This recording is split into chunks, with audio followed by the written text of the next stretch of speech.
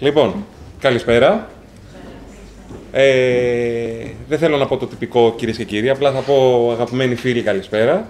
Σας ευχαριστούμε πάρα πολύ που αποδεχτήκατε την πρόσκλησή μας να έρθετε στην παρουσίαση του βιβλίου «Οι μάγισσες των Ιωαννίνων». Εγώ είμαι ο Μιχάλης Οδούκας και έχω αναλάβει, είχα αναλάβει την ε, επιμέλεια του κειμένου στο, στο βιβλίο. Να σας ε, συστήσω λίγο τους ε, παρευρισκόμενους στο πάνελ και να ξεκινήσω από τις κυρίες της παρέας. Η κυρία Μαρία Ψαρά. Γεια σας. Είναι από τον εκδοτικό Οικοδίων που έχει αναλάβει, που ανέλαβε και εξέδωσε το βιβλίο μας.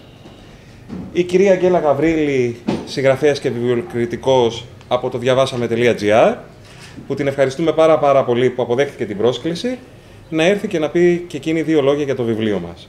Εγώ σας ευχαριστώ. Και φυσικά ο συγγραφέας μας, ο Νίνο Αυγέρης. Καλησπέρα σας. Αυτοί είμαστε η μικρή παρέα. Οι μάγισσες των Ιωαννίνων, λοιπόν. Έχεις κάποια σχέση με τα Γιάννενα. Εγώ. Και εγώ. Η καταγωγή του είναι από τα Γιάννενα. Και εμένα.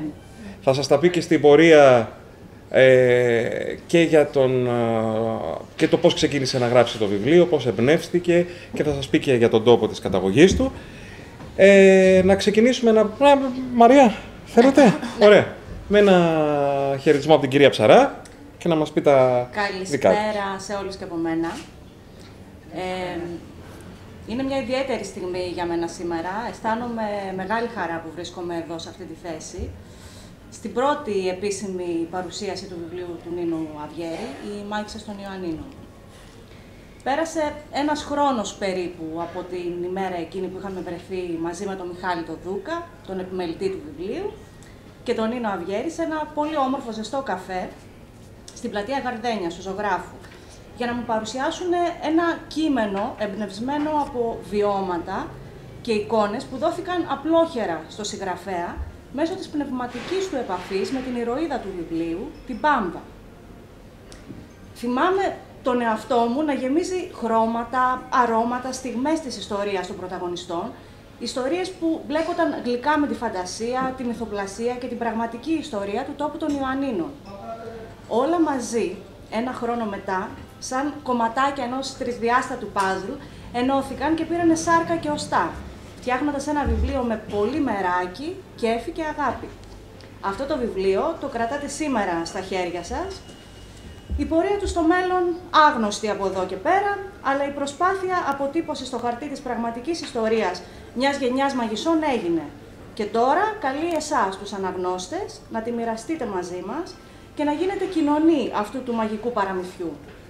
Από την πλευρά μου θέλω να ευχηθώ κάθε επιτυχία στον Νίνο και στην προσπάθεια αυτή όλων μας, ε, για να γνωρίσει αυτό το βιβλίο το κοινό του, ζωντανεύοντας την ιστορία της Πάμπας στις καρδιές όλων μας.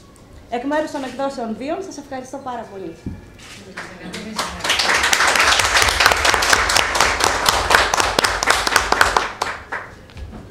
Μα συγκίνησες, τα κατάφερες. Ήτανε που δεν ήθελες να μιλήσεις. Δεν ήθελα. Αλλά μας συγκίνησες πολύ. Εμείς ευχαριστούμε. Ε, δεν ξέρω πώς συνεχίζουν. Δεν ξέρω, νομίζω ότι είναι τελείως ε, τυπικό, αλλά θέλω να το κάνω πιο φιλικό. Γιατί ουσιαστικά είναι το πρώτο μας βιβλίο, το πρώτο βιβλίο που γράφει ο Νίνο, η πρώτη μας παρουσίαση.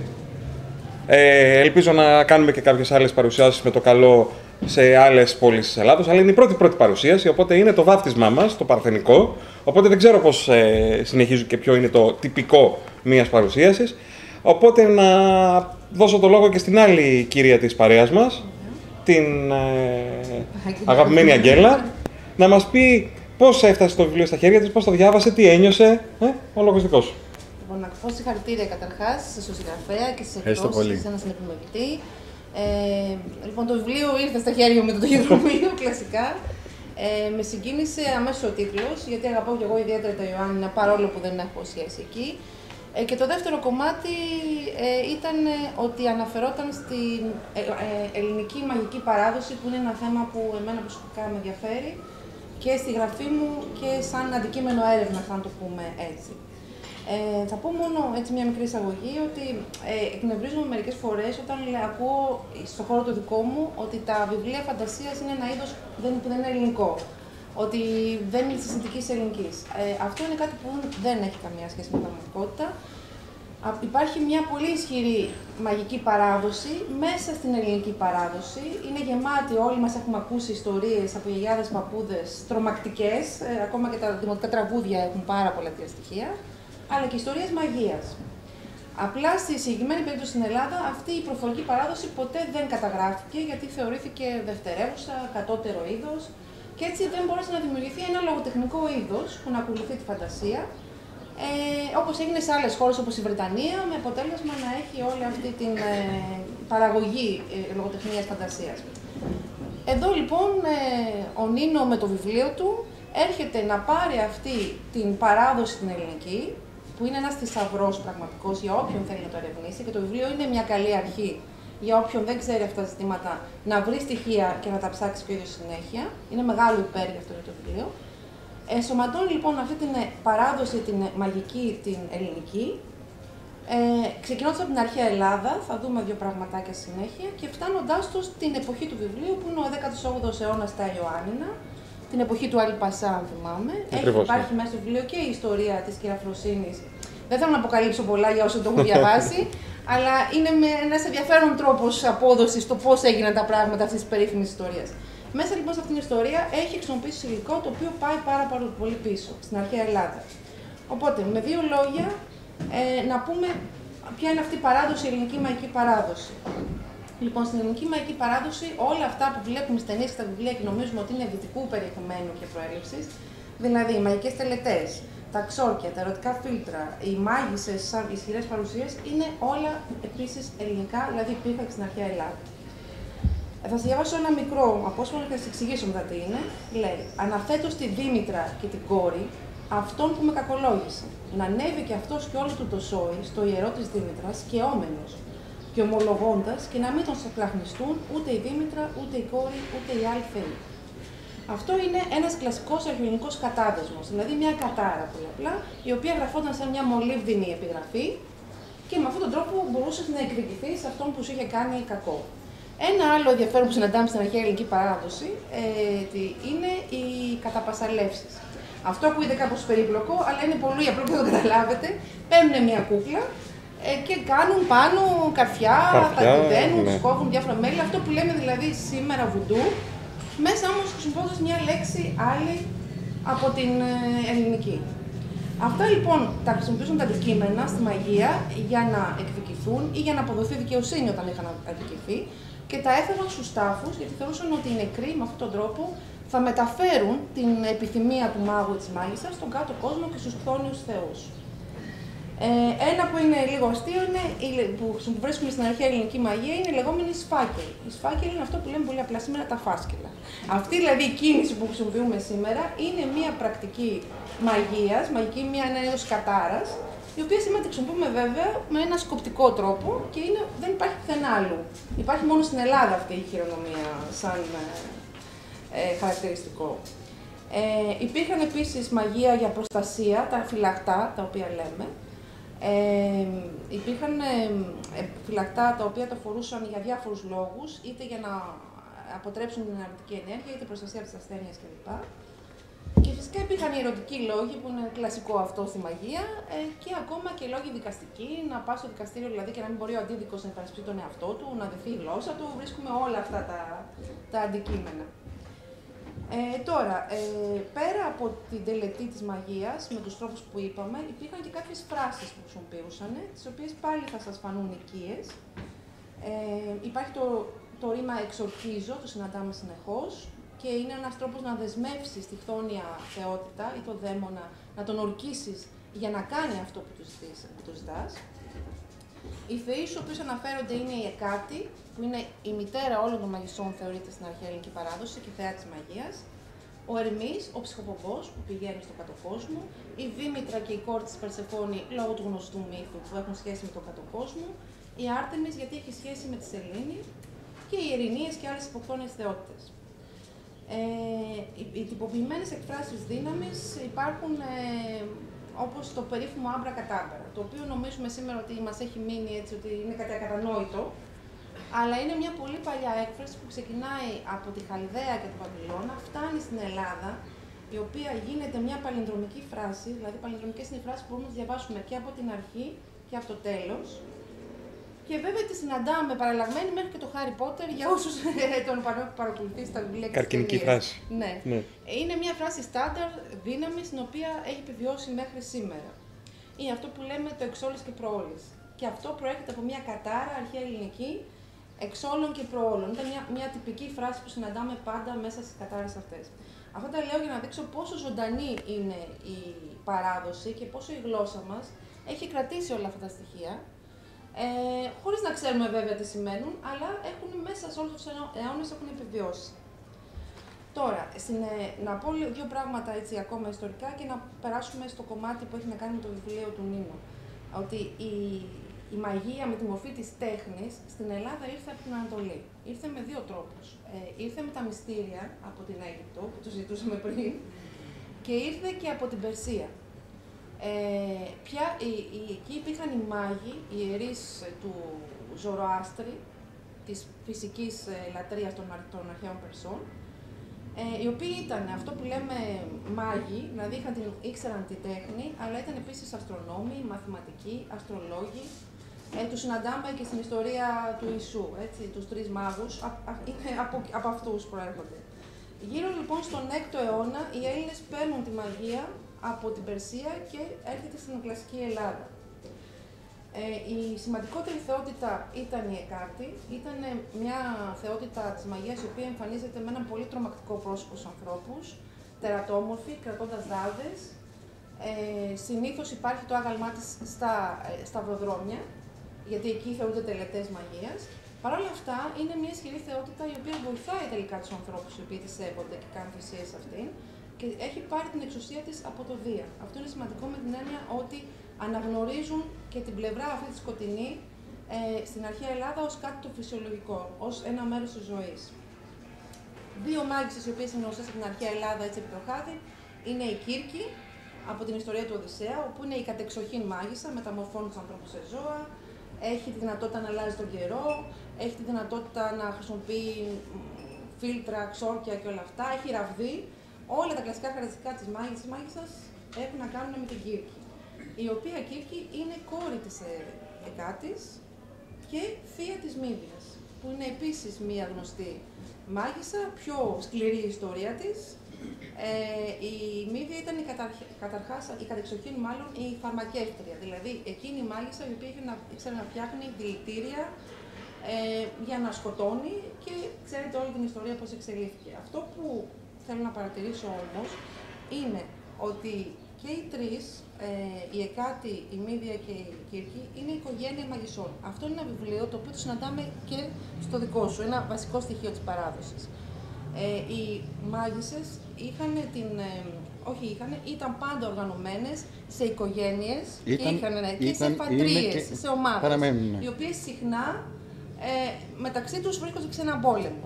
Έτσι λοιπόν βλέπουμε ένα στοιχείο από εκείνη την ε, εποχή, το οποίο ε, το έχει διατηρήσει μέσα στο βιβλίο και ο Νίνο.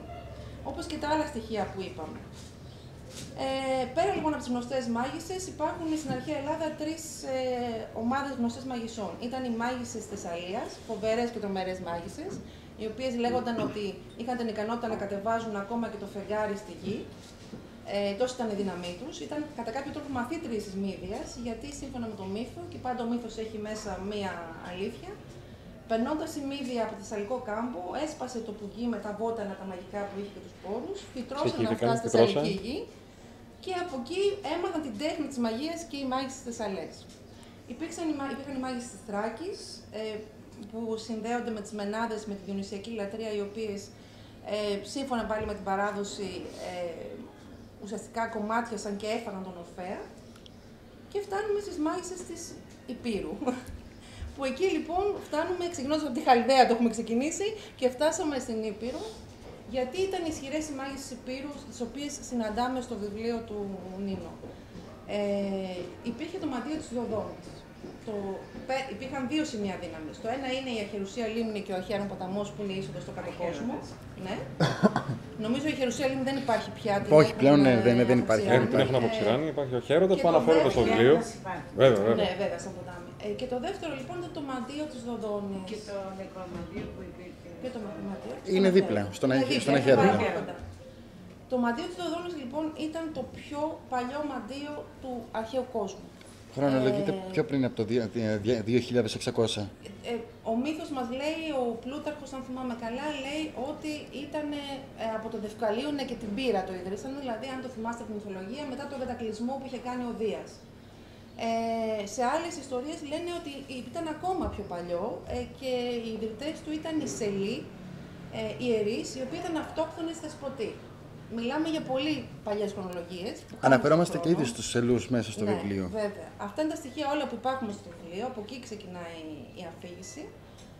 Ε, το μαντίο βρίσκεται στα Ιωάννενα νότια, αν θυμάμαι, των Ιωαννίνων, γύρω στα 600 μέτρα Ε, ύψος. Ε, περίπου, υψόμετρο, είναι περίπου, ψηλά, ναι, Είναι ναι. τόσο, 600 μέτρα είναι. Περίπου στα 15 χιλιόμετρα από τα Γιάννενα, Ήταν ένα 15-16. πολύ παλιό μαντίο με την έννοια ότι υπήρχαν ήδη πριν εκεί λατρείες της Γαίας πριν, και το είναι αφιερωμένο στο Δία, στο Ζεύς. Ε, ήθελα να πω γι' αυτό ακόμα, το ιερό του δέντρο είναι ο Δρύς και οι Σελοί ερμηνεύουν τα θροίσματα της Ιερής Δριός και δίνουν τους χρησμούς στους ανθρώπους που έρχονται να, να ρωτήσουν οτιδήποτε θέλουν με τις, χαλ- με τις μολύβδινες ε, πινακίδες που έχουμε πει ήδη. Τώρα, εκτός από τους σελούς, ε, οι οποίοι μάλιστα περπατούσαν ξυπόλυτοι για να αντλούν την ενέργεια της γης, που είναι οι βασικοί ιερείς του Μαντίου, ο Ηρόδοτος αναφέρει δύο εκδοχές για την ίδρυσή του. Η μία ε, λέει, που την άκουσα από τους ιερείς της Αιγύπτου, οι Φίνικες απήγαγαν από τις στίβες της Αιγύπτου δύο ιέριες, τις πούλησαν, τη μία στη Λιβύη όπου ιδρύθηκε το ιερό του, το μαντίο του Άμμονος Διός, και την άλλη στην Ελλάδα, στη Δοδόνη. Στην άλλη διήγηση υποστηρίζει ότι την άκουσε ο Ηρόδοτος από τις ιέρειες του Δοδόνης, λεγόταν ότι δύο μαύρα αγριοπερίστερα, πέλιε ή πελιάδες, πέταξαν από την Αίγυπτο, το ένα προς τη Λιβύη και το άλλο προς τη Δοδόνη. Το τελευταίο κάθισε μια βελανιδιά, μίλησε με ανθρώπινη φωνή και είπε ότι πρέπει να ιδρυθεί εκεί το μαντίο. Να λοιπόν πως φτάνουμε στις μάγες των Ιωαννίνων. Οι Πελιάδες ήταν οι ιέρειες του μαντίου της Δοδόνης που συνυπήρχαν με τους Ελούς. Ήταν οι πρόγονοι των μαγισσών των Και Ιωαννίνων. ήταν ο πρώτος πόλεμος μάλιστα που έγινε. Ήταν οι πρόγονοι των των μαγισσών των Ιωαννίνων της παράδοσης δηλαδή που ακολούθησε και από αυτές διδάχθηκαν τη μαγεία έτσι όπως συναντάμε μέσα στο βιβλίο του Νίνου που νομίζω ότι χρησιμοποιείς και το χαρακτηρισμό Πελιάδες, έτσι. ναι. Πελιάδες ή Έτσι Πλιάδες. ονομάζεις, Ναι, ναι, ναι, ναι. ναι. Αυτή η αντίληψη, αυτή που είχα βρει, ας κάνουμε και λίγο κουβέντα, αυτή η ερμηνεία που έχω βρει είναι- είναι τα άγρια περιστέρια. Ε, τα σκούρα περιστέρια Ναι. νομίζω. Βασικά Δεν ξέρω τα- αν τα έχεις λευκά βρει είναι. κάτι άλλο εσύ Πελιάδες. σχετικό, συμβολικά. Πλιάδες και πελιάδες αναφέρονται τα, οι, οι κόρες τέλος πάντων, οι γυναίκες που ήταν αφιερωμένες στη διονη στην ε, δευτερεύουσα θεότητα της ε, Δοδόνης. Ο Δόνης είναι το θηλυκό ζεύγος, ε, αυτός Πολύ ο σωστά. Δίας και η Διόνη. Ναι. Πολύ σωστά.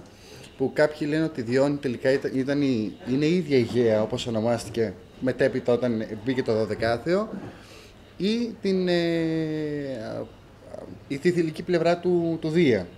Τέλος πάντων, ο- οι πελιάδες είναι ή τα περιστέρια, όταν βλέπουμε ένα λευκό περιστέρι που πετάει, λέμε αχ, μια πελιάδα, πλιάδα. Ε, και μετά ήταν οι κόρες της, α, της Διόνης, τη Μαρέτη, την Ικανδρή, που αναφέρει και ο Ηρόδοτος μέσα στο αυτό, αναφέρεται ως πελιά. Οι οποίες ήταν όντως οι δασκάλες, ας πούμε, και οι πρόγονοι ιέρειες, των μαγισσών οι ε, ιέρειες, του, ναι. των Ιωαννίνων που ξετυλίξε την ιστορία τους. Ε, μέσα λοιπόν στο βιβλίο από τις Πελιάδες, ε, ο συγγραφέας, ο Νίνο Αβιέρης, με τη μορφή της μυθοτρηματικής αφήγησης, τώρα θα μας πει ο ίδιος πόσο μυθιστόρημα είναι και πόσο πραγματικότητα όλο αυτό, καταγράφει αυτό το χρονικό της ισχυρής γενιάς των μαγισσών στην Ήπειρο, ε, που έχουν τις ρίζες στο μαντίο της Δοδόνης. Ε, ο συγγραφέας, όπως το αφηγείται με στο βιβλίο, ως απόγονο τελευταίας της γενιάς τους, της Λενιό, ανακαλύπτει και διαβάζει τα γρημόρια της. Τα γρημόρια ήταν τα βιβλία τα ιερά των μαγισσών, όπου ε, κατέγραφαν τις τελετές τους, καταδέσμους, τα ψόρια τους κλπ. Και έτσι από εκείνη μαθαίνουμε για όλες τις μάγισσες που προηγήθηκαν έως την Πάμβα, την πιο ισχυρή ανάμεσά τους, αν θυμάμαι καλά, που πήρε το όνομά της Μία από από την αυτή. Παμβότιδα. Ναι. Παμβότιδα ή... Η Λίμνη των Η Ιωαννίνων. Λίμνη των Ιωαννίνων. Ε, η Λενιό γεννήθηκε με αυτό το χάρισμα της μαγείας. Μπήκε εξ αρχής κάτω από την προστασία δύο ισχυρών μαγισσών, της Διόνη και της Μανοδέσας. Και, ξε- και όπως είδαμε και μέσα στο βιβλίο και είδαμε και πιο πριν στην εισήγηση δική μου, ότι κάθε μία από τις μάγισσες ανήκει στον οίκο το δικό της, στη πατρίας της. Συχνά τα συμφέροντά τους συγκρούονται, έρχονται σε πόλεμο και η Λενιό έχει την ατυχία να βρεθεί ανάμεσα σε αυτόν τον πόλεμο και αυτό καθόρισε την τύχη της. Ε, πέρα από τα όσα διαβάζουμε για τη μαγεία, τα μαγικά ξόρκια για τον έρωτα και για τον θάνατο, το οποίο εμένα με εντυπωσίασαν το πόσο περιγράφεις αυτόν τον πόλεμο των μαγισσών, ας πούμε, με όλα τα μεσα και όλα τα τεχνάσματα που χρησιμοποιούν, διαβάζουμε πολλά περιστατικά από την ιστορία της πόλης των Ιωαννίων, Ιωαννίνων, με αυτό που είπαμε πριν βασικότερο, την ιστορία της Κεραφροσύνης και του Αλπασά. Τώρα, για να κλείσω, στο σύνολό του η Μάγισσα των Ιωαννίνων είναι ένα κείμενο γεμάτο μαγεία αλλά και ιστορία. Ε, Όπως είπα, είναι οπωσδήποτε μια καλή αρχή για όποιον ενδιαφέρεται να μάθει την αρχαία ελληνική παράδοση τη μαγική, αλλά είναι και μια πολύ όμορφη αφήγηση ε, μεταξύ παραμυθιού και χρονικού, έχει και τα δύο στοιχεία, ε, που μας ταξιδεύει πίσω στον χρόνο και μας κάνει είτε να ανακαλύψουμε είτε να θυμηθούμε, αναλόγως ο καθένας σε ποιο στάδιο εξέλιξης βρίσκεται. Αυτό όμως με το οποίο θέλω να κλείσω και θα το πω σίγουρα ότι είναι ότι αν ταξιδέψετε στα Ιωάννινα, ε, αν δείτε από κοντά τη λίμνη Παμβότιδα, αν περπατήσετε στο κάστρο, αν πάτε στο Δοδόνι, θα συνειδητοποιήσετε χωρίς κανέναν άλλο ανάλυση ότι η γη αυτή είναι όντως μαγική ε, και ότι η μαγεία της παραμένει πάρα πολύ ζωντανή μέχρι σήμερα. Συγχαρητήρια Νίνο για το βιβλίο Ευχαριστώ πάρα πολύ. και την προσπάθειά Πάρα σου. πολύ ωραία. Και τώρα ακούμε και τα δικά Σε σου. ευχαριστούμε πολύ. Ευχαριστούμε πολύ. Και η μαγεία υπήρχε και πολύ αργότερα. Από την εποχή την Άρτα Έχουμε ήταν. βιώσει κάποια Εξαιρετική προσέγγιση. από τους γονείς μου. Υπέροχη. υπέροχη Υπέροχη. προσέγγιση και έδωσε ακριβώς νομίζω το στίγμα του βιβλίου και ακριβώς αυτό που ήθελε να αποδώσει ο Νίνο.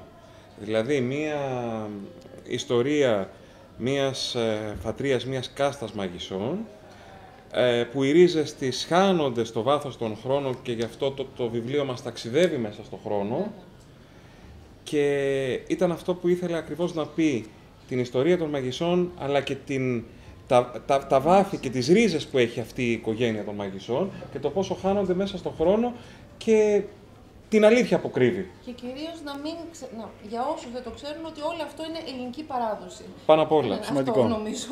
Σημαντικό. Θες να μας πεις, Λοιπόν, Νίνο; Καταρχήν να ευχαριστήσω το, το, το Μπούκια, την ε, κυρία Άγγελα Γαβρίλ. Γαβρίλη. Γαβρίλη. Εντάξει, Τη το Μαρία, έκανες το λάθος. τη Μαρία από, το, από τις εκδόσεις Δίων και τις εκδόσεις φυσικά Δίων. Εσένα δεν σε ευχαριστώ. Όχι, Δεν ευχαριστώ. χρειάζεται. ε, όλο το βράδυ λοιπόν σκεφτόμουν εξ αρχής πώς, πώς θα μπορούσα να, γρα... να σας ε, προσεγγίσω και να σας πω πώς έφτασε αυτό το βιβλίο να είναι τελικά ένα, ένα κομμάτι βιβλίο και να το διαβάσετε, να το κάνετε. Α, έτσι λοιπόν σε- σκέφτηκα να σας πω λιγουλάκι την ιστορία πώς ξεκίνησε και να σας πω ότι από το 2009 μέχρι και σήμερα που το κρατάτε στα χέρια σας το παλεύω να το γράψω, την ιστορία της, πώς με προσέγγισε η ίδια η, η Πάμπα, η Λενιό. Α, έτσι να γράψουμε λίγο. Από το 2009 λοιπόν μου εμφανίστηκε η ίδια η, η, η Πάμπα μέσα από τα όνειρα και μέσα από τα γραφόμενα της ίδιας της γυναίκας αυτής να μπορέσουμε να γράψουμε την ιστορία της χωρίς όμως σκοπό να βγει ένα βιβλίο «Η Μάγισσα των Ιωαννίνων». Ναι, στην αρχή δεν ήτανε. είχαμε κανένα σκοπό να βγάλουμε βιβλίο. Δεν ήταν σκοπός. Απλά. Είχαν σκοπό απλά... εκείνες Ναι, όμως. ναι, είχαν σκοπό εκείνο. Απλά έγραφε, έγραφε, έγραφε. Ε, κάπου λοιπόν μέσα στο χρόνο, κάπου στο 2011 από ό,τι θυμάμαι, α, μία φίλη μου διαβάζει λιγουλάκι έτσι την ιστορία, λίγο που είχα γράψει, ωραίο είναι λέει, μπορούμε να το ξεκινήσουμε σαν σενάριο. Σενάριο, εγώ σενάριο. Κάτσαμε λοιπόν και γράψαμε περίπου τα μισά, τα, ούτε το μισό, δεν υπήρχε το βιβλίο βασικά, υπήρχαν 4-5 σελίδες η, έτσι την ιστορία. Το έχω και όλα στα ακόμα τα, Την περίληψη, τα, ναι. τις γραφές, την Στα- περίληψη έτσι ναι, πως ναι, τα ναι. έχουμε ε, τοποθετήσει τέλος πάντων. Ε, και ξεκινήσαμε να το κάνουμε, να, το- να γράφουμε. Γράψαμε το πρώτο επεισόδιο, γράψαμε το δεύτερο, το τρίτο. Μετά όμως δεν υπήρχε συνέχεια. Οπότε μου λέει, Νίνο, μου λέει θα κάτσεις να γράψεις, μου λέει την συνέχεια. Άντε, λέω να κάτσω να γράψω τη συνέχεια. Α, αρχίζω λοιπόν και γράφω τη συνέχεια. Χάνεται η κοπέλα αυτή. Δεν χάθηκε, απλά έτυχε και έφυγε εξωτερικό. Έτυχε να, να Ε, πήγε για πήγε το Los εξωτερικό. Angeles. Χάθηκε, ενώ χάθηκε Ναι, να... ναι. Αυτό. Ε, και κάπου λοιπόν στο 2011-2012 γνωρίζουμε τη Μαρία σε μια έκθεση τέλος πάντων στο Περιστέρι όπου μια πολύ καλή μας φίλη μας συνα- με συστήνει στη Μαρία, λέω στη Μαρία ότι γράφω τέλος πάντων έτσι μια ιστορία, α, μου λέει να τη διαβάσω κι εγώ να, να δούμε αν μπορούμε να το κάνουμε βιβλίο, ναι, ωραία. Και φτάνουμε λοιπόν στο σημείο να έχω γράψει τη μισή ιστορία, μέχρι περίπου τα μισά της ιστορίας, μέχρι τη γέννηση της Λενιός, όπου αποφασίζω τελικά να μην δώσουμε όλη την ιστορία, αλλά να γράψουμε τη μισή ιστορία μέχρι τη γέννηση της Λενιός και μετά να περάσουμε μέσα συνταγές και εξόρκια που να δώσουμε μια άλλη παράδοση, να κάνουμε κάτι διαφορετικό. Ε, η Μαρία μου λέει, όχι, θέλω όλη Το την παίρνεις στα ιστορία». χέρια της, μας το γυρνάει πίσω. Όχι, θέλω μου λέει όλη την ιστορία. Έτσι λοιπόν δέχτηκα πίεση και από τον Μιχάλη και από τη Μαρία και από την ίδια την Πάμπα να κάτσουμε να γράψουμε την ιστορία και τελικά έγινε το θέλημά της, ε, της Πάμπας να βγει το βιβλίο. Και καλά κάναμε και σε πιέσαμε, γιατί Καλά είναι κάναμε. πάρα πολύ Ναι, ωραίο είναι μια ωραία βιβλίο. ιστορία. Για να γίνει λοιπόν αυτό το βιβλίο, Συγκροτημένο, ναι, με... και διαβάζεται ελ- ε, πολύ όμορφα ε, και από έναν άνθρωπο σαν ένα απλό λογοτεχνικό βιβλίο που δεν καταλαβαίνει τη σύνδεση με τη μαγική παράδοση των Ιωαννίνων. Κυλάει τόσο όμορφα. α, μ, κάτσε λίγο γιατί χάθηκα λιγουλάκι. Καταλαβαίνεις. Δεν ξαναμιλάω. Ε, μ, αφού λοιπόν γράψαμε λοιπόν την, τη μισή ιστορία, αποφάσισε κάπου πέρσι, ναι, το 2013, η Πάμπα να μ- μ- με διώξει από την Αθήνα, να πάω να μείνω στο πατρικό μου, όπου δεν θα έχω ίντερνετ, δεν θα έχω τίποτα για να ασχολούμαι, παρά να έχω το σπίτι, τον υπολογιστή και τον κήπο, να κάτσω να το συνεχίσω να το γράψω. Και για ένα χρόνο έμεινα στην εξορία του Αδάμου, όπως λέω εγώ, α, στο πατρικό μου για να μπορέσω να το συνεχίσω. Και αφού λοιπόν φτάσαμε σε αυτό το σημείο, όταν πλέον τελείωσε το βιβλίο, το έχει επιμεληθεί ο Μιχάλης, το πήρε η Μαρία στα χέρια και οι εκδόσεις Δίων και το βιβλιοπωλείο Ψαράς, να το τονίσουμε και αυτό, ξαναγύρισα στην Αθήνα. Και όταν λοιπόν γύρισα στην Αθήνα, το βιβλίο έφτασε Εκδόθηκε. λοιπόν, εκδόθηκε. Ε, και ερχόμαστε λοιπόν στο δι- ενέτη 2015 να υπάρχει το βιβλίο και το, αυτό το βίωμα. Και θέλω να κλείσω εδώ πέρα ότι κάθε βίωμα είναι μια ιστορία. Εδώ πέρα κρατάμε στα χέρια μας και στα χέρια σας το δικό μας βίωμα. Αυτά λοιπόν από μένα. Δεν μπορώ κάτι άλλο να πω. Ευχαριστώ πολύ. Ε, εκείνο που, που θέλω τώρα να κάνουμε, ο- έτσι ώστε να μπορέσουμε και εμείς να απαντήσουμε σε τυχόν οποιασδήποτε απορίες μπορεί να σας έχουν γεννηθεί με το τι ακριβώς είναι το βιβλίο, είναι ερώτηση. Ξέχασα να πω, ξέχασα να πω ότι είναι, πρα- είναι πραγματική ιστορία. Μην πρόλαβες να κάνω την ερώτησή μου. Είναι Αυτό πραγματική ακριβώς. ιστορία. Ναι, Οι ερωτήσεις ξέχασα σας να θα πω. μας δώσουν ένα Τον βήμα. Νίνο τον ρωτάω, τον κυνηγάω να μου απαντήσει ήδη από το facebook και λοιπόν απάντησέ μας στον Νίνο. Η Λενιό, η Λενιό υπήρξε, Υπήρξε. ε, θα υπάρχει μέχρι, γιατί πλέον υπάρχει. Α, με κυνήγησε πάρα πολύ μέχρι να καταφέρουμε να γράψουμε την ιστορία της. Ξέχασα να πω, το πιο σημαντικό είναι ότι πήγα στους ίδιους τόπους όπου έγιναν τα γεγονότα στα Γιάννενα. Δηλαδή πήγα επί δύο χρόνια στον, στην ίδια τοποθεσία, δηλαδή στην Πρέβεζα, να πάω στην αρχαία Κασόπη που mm. ξεχάσες να αναφέρεις. Πήγα στη Δοδόνη, πήγα στην, α, στα Ιωάννινα. Α, να ξαναπεράσω από τους ίδιους τόπους, να ξαναπάω πάλι στους ίδιους Ε, τόπους. ανεβήκαμε λόγους και βουνά. Ε, Όχι απλά πήγαμε στα παλιά Περπάτησα μέρη. ξυπόλυτος μέσα στα, στη Δοδόνη, στην Κασόπη, Όπως οι στον Αχέροντα. ιερείς. Ναι, για να Ιερείς. μπορέσει να πάρει ενέργεια Ιερείς. και να καταλάβει τι ήταν ακριβώς αυτό που ήθελε να γράψει. Είδα, είδα αυτά, αυτά, ένιωσα και είδα αυτά που είδε και ένιωσε. Ε, ομολογώ ότι ήταν οι στιγμές που ένιωσα ότι ρε μπας και να μην είναι αλήθεια και να είναι όλα αυτά γέννηση του μυαλού μου. Όπως και να έχει, λέω, μου αρέσει η ιστορία. Η Πάμπα θέλησε με τον δικό της τρόπο να μου αποδείξει ότι τελικά όχι απλά ήταν η πραγματική ιστορία, αλλά να, να μου το αποδείξει με τον δικό της τρόπο. Δηλαδή, να μου πει, εκεί ήταν το σπίτι μου, να πάω, να πάω ε, στην παλιά πόλη των Ιωαννίνων, να μπω μέσα, να ψάξω το σπίτι της. Βέβαια, πλέον το σπίτι της δεν υπάρχει, γιατί καταστράφηκε το 1822 περίπου με την καταστροφή του Αλή Πασά όταν έκανε την, έκαψε τα Γιάννενα. Ε, φτάσαμε, πού, ε, μέσα από τα γρημόρια της μου απόδειξε ότι υπάρχει η ίδια αν και λίγο θαρμένα λίγο, γιατί ήταν δύσκολο να... Ήθελα να βγάλω και φωτογραφίες, να σας δείξω το, τα τετράδια της, αλλά από την ίδια έφαγα απογόρευση ότι αυτά δεν βγαίνουν έξω στο μάτι, ε, στο ανθρώπινο κοινό, γιατί μου λένε δικά σου, είναι δικά μου. Και όταν μια μάγισσα σου απαγορεύει, πρέπει λοιπόν να υπακούσεις. Μου άλλαξε τη ζωή μου για να μπορέσω να κατανοήσω την ίδια την Πάμβα, αλλά και όλη αυτή τη φατρία των μαγισσών.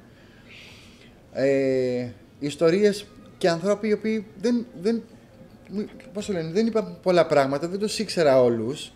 Ε, και μου είπαν, ήξεραν για μια Λενιό η οποία έζησε στα Γιάννενα, που άλλαξε, που μπορούσε να αλλάξει με τα τέσσερα στοιχεία της φύσης, να αλλάξει τη βροχή, το νερό, να, να φέρει φωτιές, να κάνει τέλος πάντων όλη αυτή την, ε, το χαλασμό κυρίου. Αφού λοιπόν μου άλλαξε τη ζωή μου, η αλλαγή είναι εδώ πέρα. Δεν μπορώ να πω κάτι άλλο. Κάτι άλλο που μπορούν να... Για ρωτά. Ερωτήσεις Ναι, γενικώς ερωτήσεις. που μπορείτε... Πότε Να. ήταν η πρώτη φορά που είδες την Πάμπα. Πότε; Ήταν η πρώτη φορά που είδα την Μπάμπα. Ε, το 2009 με 2010 όταν αποφάσισε όταν περνούσα τέλος πάντων μια πολύ δύσκολη κατάσταση στη ζωή μου όπου ήρθα στον ύπνο μου αλλά σχεδόν και μέσα στο, στο ξύπνιο μου προσπάθησε να με πνίξει ουσιαστικά να φύγω από αυτή την κατάσταση γιατί δεν ήταν σωστό αυτό που έκανα και όντως τελικά αποδείχθηκε ότι δεν ήταν σωστό Α, Ναι, εκεί, στο 2009. Εκεί, στο Ναι. 2009-2010. Νομίζω πρέπει να το αναφέρω και μέσα στο βιβλίο, η πρώτη φορά που την συνάντησα. Βέβαια, ήταν στιγμές που ε, κάποιες στιγμές ένιωθα ότι τρελ- τρελαινόμουν, ότι πρέπει κάθομαι μόνος μου, ακούω μια φωνή, βλέπω μια Αυτό γυναίκα ήθελα να σε μπροστά. ρωτήσω, Ζαντάρ. ας πούμε. Αυτό. Το, το όριο, να το πω έτσι. Το Καταρχάς, όριο. Θέλω να πω ότι όταν γράφει κάποιος ένα βιβλίο, άσχετα αν γράφει για μαγεία ή οτιδήποτε άλλο, είναι λίγο σαν στοίχημα. Δηλαδή, έχεις έναν ήρωα συνήθως που σου μπαίνει στο μυαλό και πρέπει να του πεις την ιστορία του. Εσύ μπορεί να θέλει να μην ασχοληθείς, μπορεί να θέλει να κάνεις άλλα πράγματα, αλλά είναι λίγο σαν να σε στοιχειώνει κάτι. Λοιπόν, Το στοίχημα το είχα εγώ. ναι, αυτό. Το Εσύ είχα. το είχες και πιο Έντονα. έντονα. Και με Το είχα διαφορετικό Γιατί τρόπο. είχες με μία μάγισσα να κάνεις. Ε, Πώς, ας πούμε, το όριο αυτό, ότι αυτό που είπες μου έκανε εντύπωση. Ότι ο- αυτό ρε παιδιά είναι φαντασία που ζω τώρα, έχω αρχίσει να τρελαίνομαι, είναι πραγματικότητα, τι μου συμβαίνει. Πώς Ήτανε το στιγμές- ισορρόπησες, να σου το πω έτσι; Ήταν στιγμές, ακόμα δεν το έχω εξισορροπήσει, να, σου πω, να, να σου πω την αλήθεια, γιατί μέχρι ας πούμε και το, το τέλος του βιβλίου, ακόμα και στον τίτλο του βιβλίου, με κυνήγησε πάλι, όπου μου έλεγε ότι τώρα θα σηκωθείς, γράψε λίγο παραπάνω. Κάτι, αυτό το Κάτι ξέχασες. λείπει. Κάτι Σου λείπει, έκανε γράψε. τριμέλια, δηλαδή. δηλαδή ναι, το τελευταίο, μέχρι και τελευταία στιγμή, ας πούμε, έστειλα και λέω Α, αυτό το ξεχάσαμε. Α, όταν τη ρώτησα πώς θα ήθελες να λέγεται το βιβλίο στην Μπάμπα, η ίδια μου απάντησε Η μάχη των Ιωνίνων. Με τον τρόπο. Έτσι λοιπόν είχαμε το Λενιό, η Πάμπα, η Αναγέννηση. ε, Είχαμε Είχαμε πάρα και πολλά τέλος διάφορα. πάντων. Ναι, ναι. Μέχρι που παίρνω τη- το Μιχάλη και τη Μαρία και τους λέω ότι τέλος, δεν θα βάλουμε άλλο. Η μάγισσα των Ιωνίων Όχι, είναι είναι, πολύ είναι, ο καλός τίτλος. τίτλος. Είναι Είναι ο δυνατός. τίτλος, αυτόν θα βάλουμε. Αυτόν θέλει, αυτόν θα βάλουμε. Άσκησα πέτο. Όπως μας άσκησε και η ίδια η Πάμπα πέτο. Ε, το όριο, δεν υπάρχει όριο. Με πίεσε. Α, ένιωσα στη μέση που τρελαινόμουν. Βέβαια τώρα λίγο το έχω εξισορροπήσει. Δηλαδή αντέχω στο. Α, είσαι εδώ πάλι, εντάξει, μπορούμε να, χα- να γράψουμε. Η ιστορία της δεν έχει τελειώσει, γιατί Αυτό μέσα, ήταν ένα μέσα στο αγαπημένο βιβλίο μου. Σταματάει σε ένα σημείο που εγώ, ας πούμε, τουλάχιστον θα ήθελα να διαβάσω πώς συνεχίζεται η Ναι. ιστορία αυτή. Ε, όλοι το ίδιο με ρωτάνε τελικά. Αν συνεχίζετε το βιβλίο, ε, δεν έχω σκοπό να το συνεχίσω. Ίσως συνεχιστεί με έναν διαφορετικό Με τρόπο. έναν διαφορετικό τρόπο. Α, γράφοντας, ας πούμε, και άλλες μάγισσες που κυνηγήθηκαν για το όνομα της παμβας Γιατί... Πώς να, σου, να σας το εξηγήσω τώρα. Η, έφαγε κυνηγητό η Πάμπα ως λιτρέα και, και κυνηγήθηκαν κι άλλες. Δηλαδή, στο όνομά της χάθηκαν κι άλλες μάγισσες. Μα μία από αυτές είναι η επόμενη που αναφέρω, που γράφω τώρα, που είναι η Αμαλία, η μάγισσα με τη γυάλινη καρδιά. Ήθελα να το αναφέρω αυτό λοιπόν, να το πω. Όπου ο θάνατός της συσχετίζεται με την Πάμπα. Δεν θα πω όμως τίποτα άλλο, γιατί μετά Ε, άρα κατά μία έννοια έχει μία έχει συνέχεια. μια συνέχεια. συνέχεια. Έχει μια συνέχεια. Ωραία. Έχει μια συνέχεια. Εγώ να σας ρωτήσω, ε, υπήρξε μια διαμάχη στην αρχή δική σας με την Ναι. μάγισσα. Ναι. Σας δέχτηκε από την αρχή θετικά Ή α- ήρθε και είπε, μα ποιος είσαι τώρα εσύ που ήρθες Όχι. να βγάλεις τα μυστικά μου και να Έπρεπε. τα δώσεις. Έπρεπε. Έγινε μια Έπρεπε από μάχη την ίδια. μεταξύ σας, δεν σας Βασικά- δέχτηκε από την αρχή. Ε, Όχι, δεν, η ίδια με δέχτηκε. Εγώ δεν τη δέχτηκα στην αρχή. Εκείνος ο Κάτι πέρας. υπήρξε Εγώ δεν τη μεταξύ δέχτηκα σας στην αρχή, όμως, γιατί- γι' αυτό εισπράττω γιατί- εγώ. Στην αρχή κάτι έγινε μεταξύ σας. Απλά με σήκωνε στι 4 ώρε τα χαρά μου και μου λέγε γράψε. Δεν ήταν πάρα πολύ Ναι, εύκολο, ναι, γιατί ναι, τώρα ναι, ναι. πέρα από το μαγικό της υπόθεσης, αν το δούμε εντελώς λογικά, με τη λογική, ε, Μία νεκρή μου λέει όπου την ιστορία της. Η, η μαγεία δεν έχει λογική. Ε, δεν μπορείς να ξυπνάς το βράδυ στον ύπνο σου με μία φωνή να σου λέει γράψε. Εκεί αρχίζεις και τρέλα. Αλλά δεν το δέχεσαι. Στην αρχή Έχεις- είναι κάτι το οποίο δεν δέχεσαι. Είναι σίγουρο ότι αυτά τα θέματα, όταν αρχίσει κάποιος να καταπιάνεται, πρέπει να έχει πολύ δυνατά κότσια, γιατί πάει στη μεταφυσική κατά κάποιο τρόπο. Και όταν είσαι σε Ακριβώς. προσώ- δεν μιλάς με άλλους 50 δίπλα σου, υποτίθεται ότι καλείς ένα, ένα πλάσμα, ένα πνεύμα, με το οποίο έχεις όλη την καλή διάθεση εσύ Ναι. να αναφέρεις τα καλύτερα και την ιστορία του. Όμω εκείνο ίσως είναι επιφυλακτικό. όχι, στην όχι, αρχή, αντιθέτως. ε. Αντιθέτως, μα η Πάμπα Τελικά ουσιαστικά ήταν καλή μαζί. το βιβλίο ήταν, έγινε γιατί η ίδια έπρεπε να βγάλει την ιστορία της απ' έξω. Μέσα από το βιβλίο αυτό ε, είναι μια τελευταία δίκη. Γιατί έχουν γίνει δύο εγκλήματα. Ένα στη Δοδόνη και ένα στα Γιάννενα, στα, στην περιοχή των Ιωαννίνων. Και εγώ έπρεπε σαν τρίτος ε, να δικάσω την ίδια της την αδερφή και να δώσω ότι αυτή είναι η πραγματική ιστορία, όπως ακριβώς μου την ειδικήθηκε και η Ήθελε να ίδια. δικαιωθεί κατά κάποιο Ναι, τρόπο. Αυτό Δικαίως, ακριβώς. ακριβώς. Είναι λοιπόν η Ακριβώς. δικαίωση. Θα σας πω τώρα και ένα μυστικό. Όταν, ε, πήγαμε, όταν τελείωσε το βιβλίο και πήραμε τα στα χέρια, η ίδια η Πάμπα μας κανόνισε ένα ταξίδι στα Γιάννενα. Δηλαδή, σε ένα διαγωνισμό κερδίσαμε ένα τα Γιάννενα, μια, ε, ένα τριήμερο σε Γιάννενα και είπαμε ότι αφού είναι θέλημά σου, ας πάρουμε τρία βιβλία, να αφήσουμε στους τόπους τη Δοδόνη για αρχή, στη Δοδόνη, στα Γιάννενα και ένα στον τάφο του Αλή Πασά. Ε, αφού λοιπόν πήγαμε, ρίξαμε 4 κιλά ζάχαρη στη λίμνη των Ιωαννίνων. Τυχήσαμε, δεν ρίξαμε το χαρτί μέσα, γιατί αναφέρθηκε και αυτό. Α, ρίξαμε λοιπόν την, α, Τη ζάχαρη, τη να ζάχαρη γλυκάνουμε τα μέσα στα νερά. Γιάννενα, να γλυκάνουμε τα νερά, να γλυκαθεί και η ίδια. Και στο τέλος προσφώνησα ότι εδώ είναι η νίκη μας και έριξα το βιβλίο μέσα στην λίμνη. Σαν προσφορά. Σαν προσφορά. προσφορά. Ότι εδώ είναι το τελευταίο σου, ε, η δικιά σου η δικαιοσύνη. Είναι λοιπόν δικιά σου. Και πέταξε λοιπόν το βιβλίο μέσα στη λίμνη.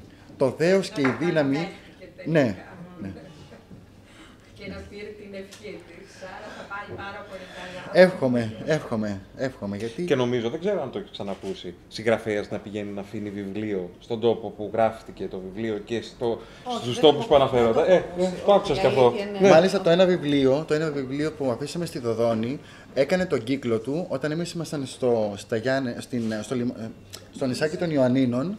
Μετά από πέντε ώρες περίπου το βιβλίο ξαναγύρισε μπροστά μας για την ώρα που πήγαν να πούμε μέσα στο καραβάκι για να γυρίσουμε στην πόλη.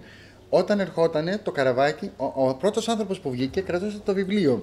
Έτσι. Απίστευτο. Ναι, όντως. ναι, το βιβλίο στη Δοδόνη. Σαν, εντάξει, σαν να σου είπε ότι το πήρα κατά κάποιο Κα- τρόπο. ναι, Δεν κατά μπορούσα κάποιο να τρόπο το βρω. Είχαμε πραγματικά. κάνει μια εκδρομή. Είχαμε πάει λοιπόν στην Δοδόνη, στην αρχαία Δοδόνη. Αφήνουμε το, το βιβλίο στο βωμό της Διόνη.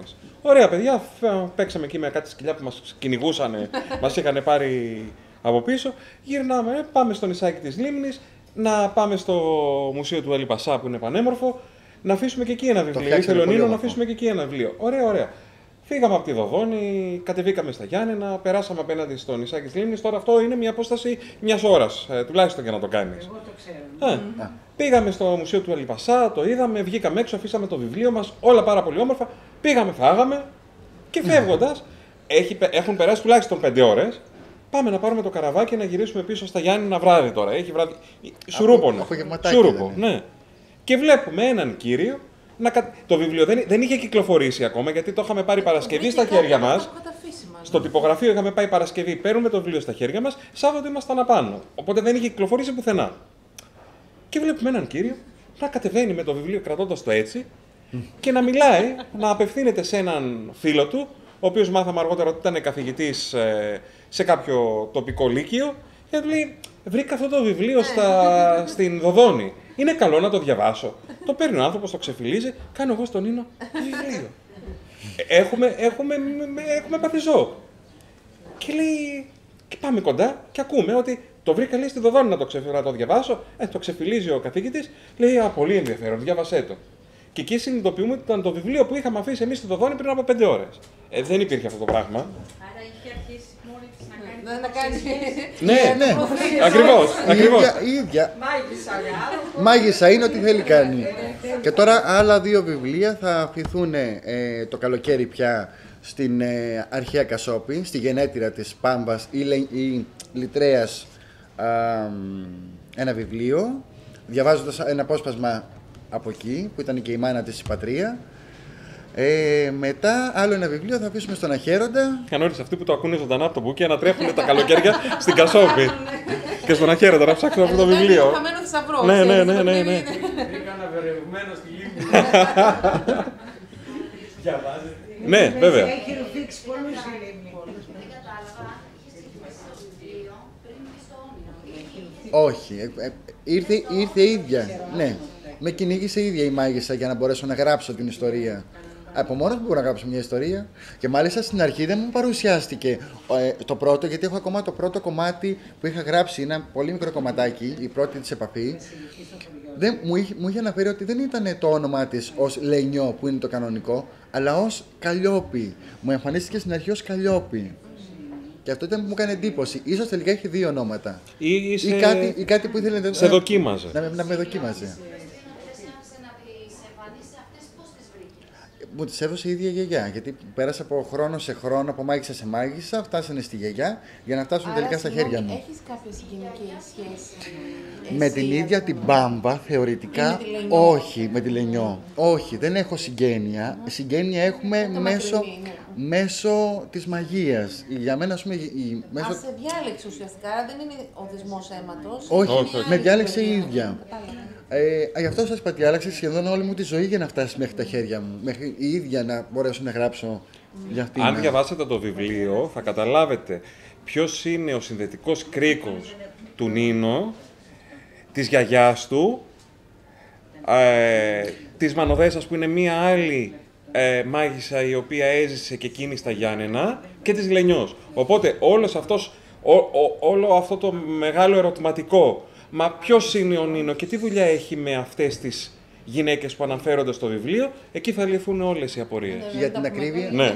Και να ενδιαφέρουν το βιβλίο να ανοίξουμε Η... τόσο πολύ. Επειδή αναφερήκα- αναφέραμε λιγουλάκι στη Μανοδέσα, η Μανοδέσα ήταν η πρώτη μάγισσα που με προσέγγισε σαν μεγάλο κεφάλι, όπως... Ε, σαν μεγάλο κεφάλι, σαν την ε, Διόνη τέλος πάντων, Διόνη με, με Μανοδέσα. Έχω γράψει σχεδόν τη μισή της ιστορία, βασικά όλη την ιστορία της, αλλά επειδή η ιστορία της διακυκόβεται πάντα, δηλαδή το 1800 που εμφανίζεται, αλλά έχει- εμφανίζεται ξανά στο, 1400 στο 1940 και επειδή είναι λίγο δύσκολο, δεν μπορώ να τη γράψω την ιστορία της, της ίδιας. Θα ήθελα όμως να μάθουν και ποια είναι αυτή η γαλαζιάρα, η μανοδέσα που αναφέρομαι Σε συνέχεια. μένα ήταν η αγαπημένη μου απολύτω. Ήταν λοιπόν η, η Μανοδέσα ήταν η, ένας από τους συνδετικούς κρίκους η Μανοδέσα. Η Μανοδέσα μένει λίγο πιο πάνω από το σπίτι της γιαγιάς. Υπήρχε κάποιος λόγος και η ίδια Στα Γιάννη. στα Γιάννη. στα, στο... Δεν θα ήθελα να αναφέρω τώρα το, το χωριό. Ε, α, είναι Έτσι. χωριό, όχι Είναι σε χωριό, Γιάννη. είναι χωριό. Είναι χωριό. Κοντά στη Δοδόνη, Α, ωραία. τέλος πάντων. Ε, θα τα πείτε Κοντά στη μετά. Δοδόνη. Ναι, ναι, ναι. Κοντά στη Δοδόνη. Πολύ ωραία. Δοδονοχώρη. Ωραία. Α, άλλη ερώτηση έχουμε να κάνουμε. Να ρωτήσω εγώ κάτι. Ναι. Το έχω διαβάσει σχεδόν όλο το βιβλίο, τώρα είναι στα τελειώματα. Ε, καταρχήν μου έχει αρέσει πάρα πολύ ο τρόπος ο οποίος ε, περιγράφονται όλα αυτά τα πράγματα. Είναι πάρα πολύ απλός, πάρα πολύ βατός και δεν σε αφήνει να το αφήσεις το βιβλίο. Δηλαδή θες να το ρουφήξεις.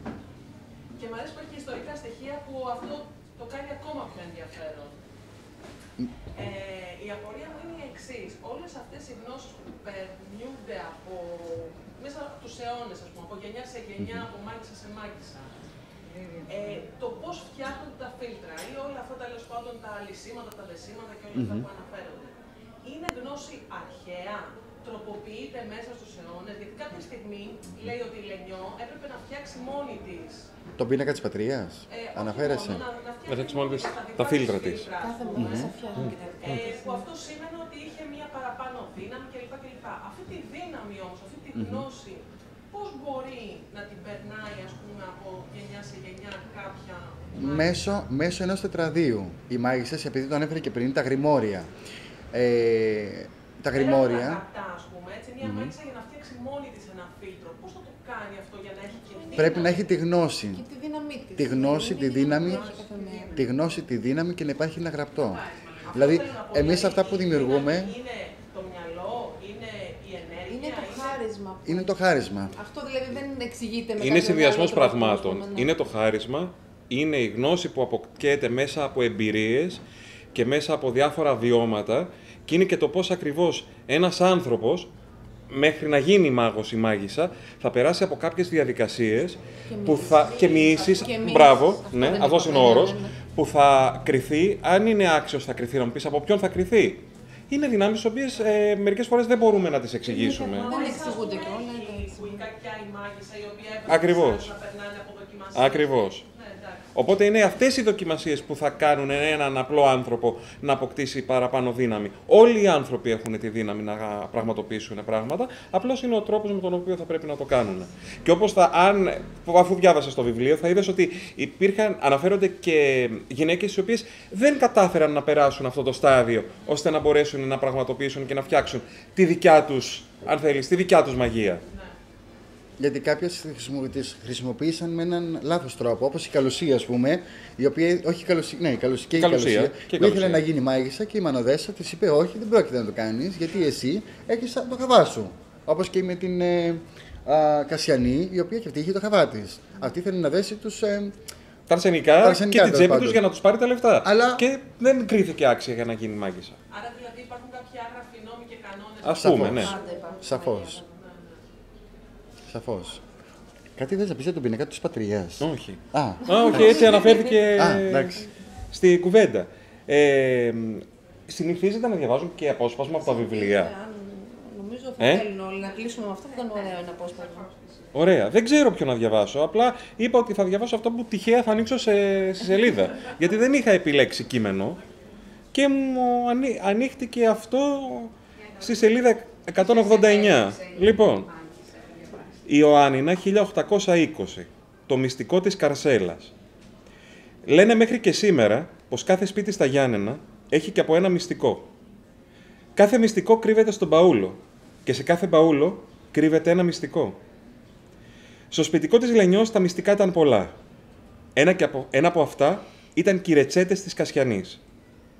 Αρώματα μεθυστικά που οι συνταγές τους είχαν καταγωγή από κάθε γωνιά της γης. Συνταγές από Γαλλία, από τα βάθη της Ανατολής, από την Αίγυπτο και φυσικά την Ήπειρο. Απ' όλα είχε προβλέψει και είχε μαζέψει η Κασιανή και τα τετράδια της ανέβλυζαν μέσα από τις σελίδες τους μυρωδιές αγινευτικές. Μέσα στην καρσέλα της Κασιανής, που είχε τώρα περιέλθει στα χέρια της Λενιός, υπήρχε ένα τετράδιο μικρό με βότανα, ένα ακόμα που κατέγραφε όλα τα σπάνια και ακριβά εθέρεα έλαια της εποχής και που όσα δεν μπορούσε να φτιάξει η ίδια, τα προμηθευόταν από έναν λεβαντίνο έμπορο που περνούσε κατά καιρούς από το παζάρι όταν έκανε τα ταξίδια του στη Μεσόγειο. Υπήρχε ένα ακόμα τετράδιο με πούδρες και πομάδες για το πρόσωπό της. Και τελευταίο, ένα δερματόδετο τετράδιο με συνταγές αρωμάτων της ίδιας της Κασιανής. Μέσα στην καρσέλα βρήκε η Λενιό και εκείνο το μπαουλάκι. Ένα μικρό ξύλινο μπαουλάκι, περίτεχνα σκαλισμένο γύρω-γύρω με φύλλα που έμοιαζαν φύλλα από κισό ή κάτι τέτοιο. Στο καπάκι έγραφε την λέξη 12. Με δυσκολία άνοιξε η μικρή Λενιό το μπαουλάκι. Σχεδόν την πόνεσαν τα δάχτυλά της από την πίεση. Με το που το άνοιξε, μια πανέμορφη μυρωδιά κατέκλυσε όλο το χώρο. Τι είναι αυτό που μυρίζει, ακούστηκε η φωνή της Διόνης από τη διπλανή κάμαρη. Τίποτα, βάγια μου, αποκρίθηκε η Λενιό. Τίποτα. Και άνοιξε το παραθύρι να φύγει η μυρωδιά. Μα η μυρωδιά όχι μόνο δεν έφυγε, αλλά μοσχομύρισε ολάκερο το μαχαλά, μέχρι την αγορά και ακόμα παραπέρα. Το μπαουλάκι στο εσωτερικό του είπαν- ήταν επενδεδημένο με μπορντό βελούδο. Άφησε το μπαουλάκι από τα χέρια της και πήρε το τετράδιο της Κασιανής για να διαβάσει.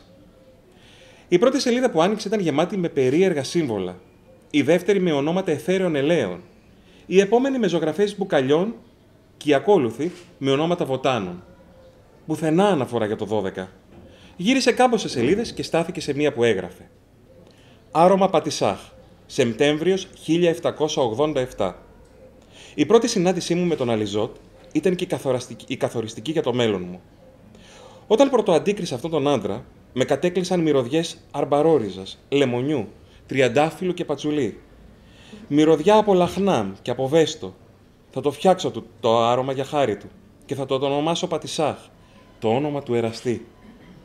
Η Λενιό χάθηκε στις σελίδες του τετραδίου της Κασιανής, στις ιστορίες και στις μυρωδιές. Κάθε σελίδα και ένα διαφορετικό άρωμα. Κάθε άρωμα και μία ιστορία. Κάθε ιστορία γεμάτη μυρωδιές. Σε κάποια σελίδα έγραφε «Οι συνταγές της γαλαζιάρας». Σταμάτησε με απορία η Ελενιό. «Γαλαζιάρα, είναι η μάνα μας, η Μανοδέσα», σκέφτηκε και συνέχιζε να ξεφυλίζει. Αυτό να μην σας διαβάσω όλο το βιβλίο.